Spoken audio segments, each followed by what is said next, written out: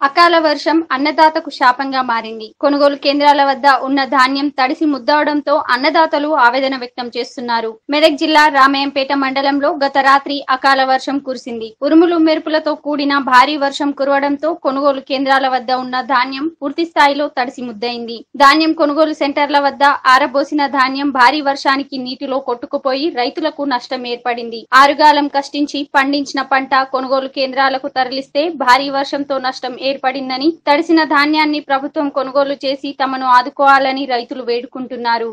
లింగాపూర్ వర్షం పడగి వడ్డలు ఖరాబ్ అయినాయి. లారీలు వస్తలేవు. పంట అంతా నష్టపోయింది ఇప్పుడు కూడా. ఏం లేదు అంత కొట్టుకుపోయింది. లారీలు కూడా వండి చేయడం అంత ఒక ఇప్పుడు పదిహేను రోజులే లారీలు వస్తలేవు. రాకంతా కొట్టుకుపోయినాయి వర్షం పడి. ఇక ఈ తడిసినప్పుడు కూడా నష్టపరిహారం ఏం లేదు సార్. మేము బతుకులేంది అంతా వేస్ట్. ఇక అని ఎంత ఇట్లా కడియకూరు ఏం చేయకూరి? ఏం లేదు కానీ కట్ చేస్తే ఆయన చచ్చిపోతాం అడిపోయి ఎంటర్ తాగి. అంతా పెట్టుబడి బాగా అవుతుంది సింగాపురం వడ్లు అన్ని నానిపోయినాయి ఇంకా వర్షానికి కొట్టుకపోతున్నాయి. కాకపోతే దయచేసి గవర్నమెంట్ పచ్చి వడ్లను ఏమన్నా నానితే కూడా పచ్చి నానితే కూడా జర తరుగు చేయకుండా తీసు కాంట పెట్టుకోవాలి. ఇబ్బందులలో ఉన్నాము. నాలుగు ఎకరాలు నాటేసిన లక్ష రూపాయలు ఖర్చు వచ్చింది. అందులో వచ్చేది ఏందో పోయేది ఏందో అట్లే కుప్ప ఉన్నాయి. అవి కిందికి వెళ్ళి పొద్దుకి వర్షానికి నాని పీకినాయి.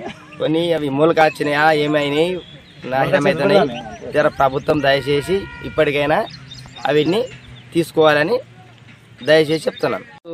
ఝాన్సీ లింగాపూర్లో రాత్రి కురిసినటువంటి వర్షానికి ఈ సొసైటీకి సంబంధించినటువంటి ఐకేపీకి సంబంధించినటువంటి కొనుగోలు కేంద్రాలలో నిన్న తీరా ఎండబోసి మంచి మ్యాచర్ వచ్చినటువంటి వడ్లను కాంట పెట్టుకొని ఈ రోజు లారీ కోసము నాలుగైదు రోజుల నుంచి వెయిట్ చేస్తూ ఉంటే ఈ రోజు రాత్రి వర్షం పడ్డ పడి- పడి ఆ మంచి ఉన్నటువంటి మ్యాచర్ వచ్చినటువంటి మంచి వడ్లు నాని ఈరోజు ఖరాబు ఖరాబు అవడం జరుగుతుంది కాబట్టి ఇప్పటికైనా ప్రభుత్వము వీటిపై అక్కడ రైస్ మిల్ ఏదైతే ఉందో రైస్ మిల్ వాళ్ళు కాంట పెట్టుకున్న వాళ్ళు తరుగు తీసుకో తరుగు తీసేయకుండా వీళ్ళకి నష్టం చేయకుండా ఏ ఏ విధంగా అయితే ఇంత నిన్న మొన్న కొన్నారో అదే విధంగా ఈ నాణ్య వడ్లను కూడా తీసుకొని రైతులను ఆదుకొని వీళ్ళకు అందు ఆ, మేలు చేయాలని చెప్పి ఈ యొక్క ప్రభుత్వాన్ని ఇక్కడ ఉన్నటువంటి ప్రజాప్రతినిధులను కోరుతా.